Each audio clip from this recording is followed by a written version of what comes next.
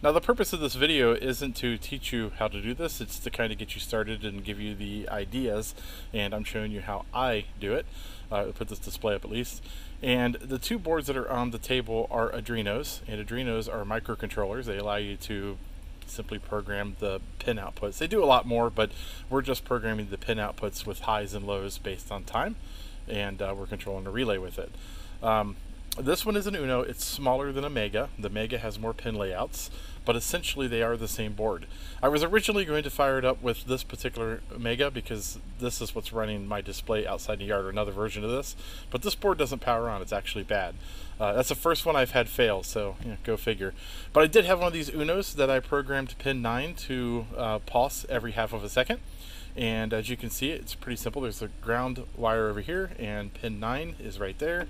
And I have it powering a solid state relay.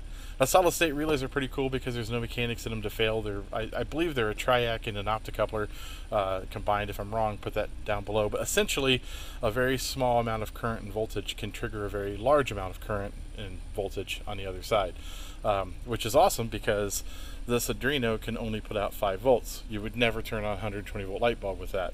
But you can turn this relay on and then you can complete the circuit flow to turn this light on. So essentially we broke one path, we broke the hot wire that's going to the light bulb and every time this relay is turned on it connects that path and you get a flashing light bulb. Now for the train display itself we're using six relays two of them for the wheels because we want them to flash at a different sequence. I originally was going to use three, uh, three different sequences of lights give you a direction of motion. Two flashing back and forth just indicate motion, uh, but I was kind of in a hurry and I needed more lights and I just put two on there for this year. We'll probably change it next year. So we only have two strings of lights on each wheel that are oscillating back and forth, which gives you an indication of motion. And then the rest of the train that's animated is a smokestack. It's four different sections of smoke and there's a, a, bar on the wheels that you know goes around with it. We'll show you that in a second.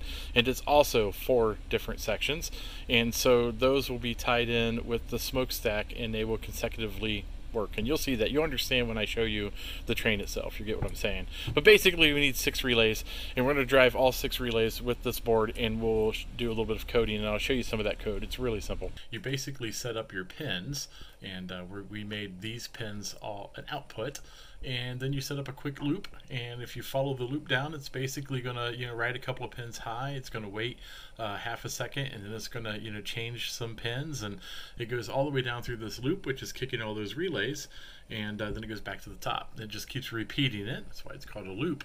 Uh, it's really simple to program. It's not much to it. There's other ways to do it. This was just kind of a quick and dirty way to pull it off now I have all those components in a watertight case. This is actually a Harbor Freight case. They have some pretty cool, pretty cool cases. They, they're relatively inexpensive when they're on sale, but they are watertight. They have a gasket that goes all the way around it. They even have a little vent that you can open up in the front. Now this is sitting on a porch. It doesn't get a lot of weather, and this is really isn't watertight anymore because I have a couple of holes in the end with the cables going through. But again, it sits on a porch that doesn't see the weather.